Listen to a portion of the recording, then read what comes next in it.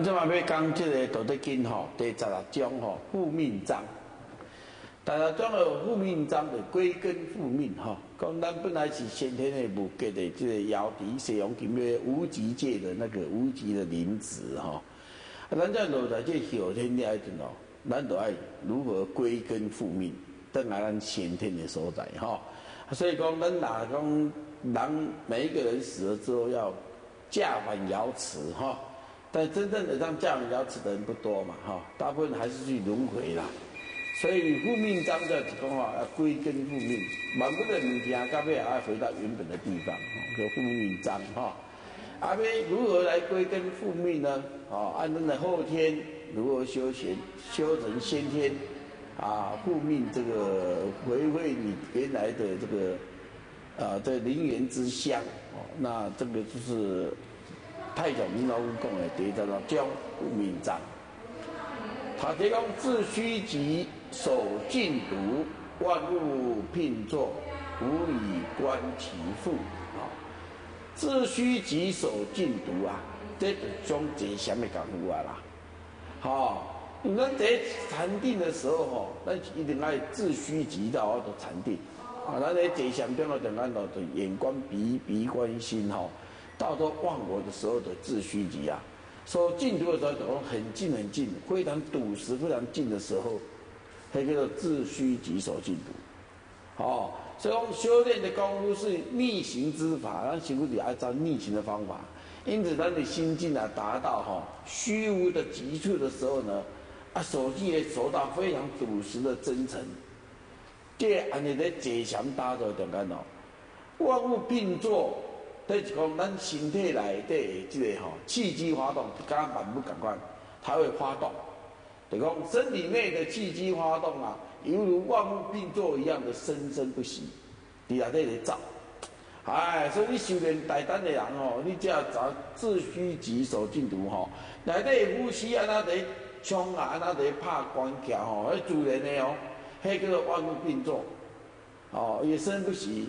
哦，无以观其物，你也同啊，咱安怎？咱都爱心静如止水。哦，用观的，跟他观主在呢。看机机在动的，同啊，你要配合伊哦。好，你用配合他气动啊，你一手一往哦，手指上面要配合他，啊，气在跑也配合他。好，因为以气动比例形态的，一往一来，一上一下，反复的不移。哎，这两对就是练呼吸啊，对哦，他会全身都跑那个气。全全天在那个当中法轮辗转呐，去啊运动啊，好，所以无以观其物，越等我爱主宰啊，看也来来去去，啊，宇宙万物的变化也跟着真的跟我们的本灵啊合而为一，哦，所以复命章的意思讲，你有目的有这给的咱人的这身体啊，嘛跟这宇宙其实同样的并作的。而你在自虚极守静笃的时候，才会发现那个你体内的气机啊，才容易发动。如果你没有达到自虚极守静，那个体内的气啊，它是没办法滑动。这个万物并作，无以观其物，我都要看它的那个上下往来，哈，一一上一下，无一上一下呢，哈。那这个后边哈，夫物云云，各归其根，归根曰静，静曰复命，啊，你说因此呢，那万物云的众生呐。都会回归到它本来之根呐，好，各归其根，但是满不当的归根，它归根上面，归根比如说咱人最后都会离开人间，啊，那个树木到最后会花开了之后会灭，然后人生了之后会死亡，死亡的时候都是归根，所以死亡的消灭反而是一个重生的开始，好啊，消灭人的归根曰尽，啊，尽曰复命。进了之后呢，又再生又开始，所以跟跟这个万物一生一灭一样。好，如果我们了解万物有生有灭，我们人也会有肉体的生跟灭。但你的灵性要灭，没有灭，灵性是不生又不灭，灵性是一种常，所以你要在有生有灭里头去悟到那个灵性的永不灭，黑哥的复命。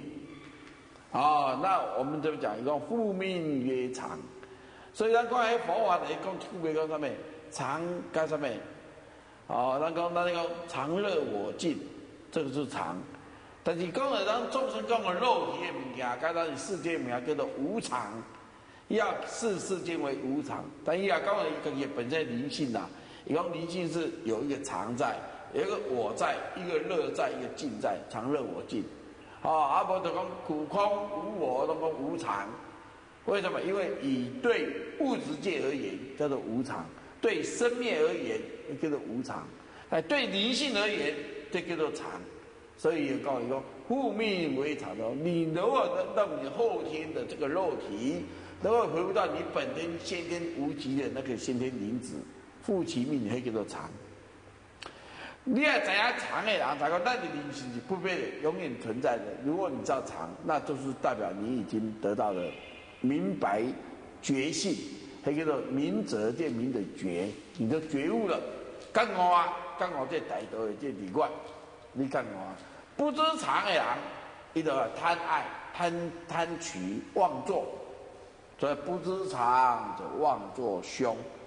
知常的人，才讲把因果啊，有生灭啦。知常的人，伊道路就较宽，对不？伊就袂计较。所以龙乃公，啊公乃王，王乃天，天乃道，道乃久，莫生不殆。好，咱这边啊，解释就讲哦，西蒙的中间啊。这是咱重生的开始，所以人不要为了生跟死来对吼在痛苦。虽然倒就咁你卖痛苦，虽然倒就是要重新创造事业的开始。所以这个时候，人以这儒教经典马讲，就会事有终始啊。那你要代志啊，拢有这终，有终才有始。知所先后，则近道矣。那那弄讲，拢要生，不要有灭。啊，都要创造啊！不要让它不见了。其实不对，宇宙本家有生必有灭，灭不是坏，灭就是生的开始。所以破坏就是要创造，创造就是要接近破坏。这个时候能了解他的常的人哈，就不会在无常中妄作啊。哦，他违背了自然嘛。所以说，这个死亡的时候才是重生的开始，反复生死啊。这个能够在反复生死里头，悟的生死里头啊，灵性不变的人啊，就是真常之道。如果你怎样理解灵性应该不变，这个世间有生灭的，你未去惊迄个生灭。哎，你也怎样真真常的人，才是开悟的你觉性，明了阴阳变化，这个物质变化、阴阳变化的人。如果不知道有一个真藏的觉性的人呐，或者真藏大道的人呐，他。就会了，就妄作，啊，这位因为妄作之后呢，他因为他不信相信有轮回，就不相信有因果的业力，所以他开始妄作，反而会造成凶灾的来临。所以知道真藏大道的人，你得大度能容，大度能容的人才会大公无私，大公无私的人才会成为内圣外王啊，内圣外王的人就可以成为天之独子啊。天之骄子，哦，天之独子的人，他就代表道的化身了。既然他是道的化身，当然他就能够长生而不灭，很久而不灭。如果能长生而不灭的人，其他的肉体死亡的，他的精神呐也不死，永远活在我们人们的心中。所以这太上老夫也讲，这世间的生命内底有一个无生命的物件就是长。啊，了解这长的人就是觉醒，所以你看是太上李老君他所讲的那个老子道德经，其实跟佛陀的讲都差不多的。我们哦，咱头在讲这道德经的讲完，你也干嘛讲？哎，怎么太上老君也思维跟那个佛陀的思维怎么那么的相近？他学留一本道德经来讲，那你对你也了解哈。他讲也是常，不讲这个无常。哦，那来讲呢，无常就是跟世间的生灭。复命曰常，所以归根复命，回到你原来先天灵性的人，大家都常，灵性的常，啊，这个灵性的常啊，他就是觉性的人。哦，所以我们有觉性之后才不会妄作嘛，好，咱就把这些了解复命章，这个很重要，归根复命的，咱人啊，要恢复到我们的先天来，咱先天是无极的灵种，它是不生不灭的灵种，它是一个常的，咱的肉体呢是一个。是一个无常的，所以不要对肉体太贪爱。所以咱在《金刚经》讲就可以讲，有为法就是常，就是无常；无为法讲的就是常。所以要追求真常的人，真常就是属于正常大道，能够一种觉性的人哈。所以要然后找到我们的圆满的觉性的人，他就是一个怎样长生而不灭，他是他就不会妄作啊，就不会呢，呃，不明白不明白阴阳生灭的道理，而产生执着之心或者贪婪之心，他就不会了哈。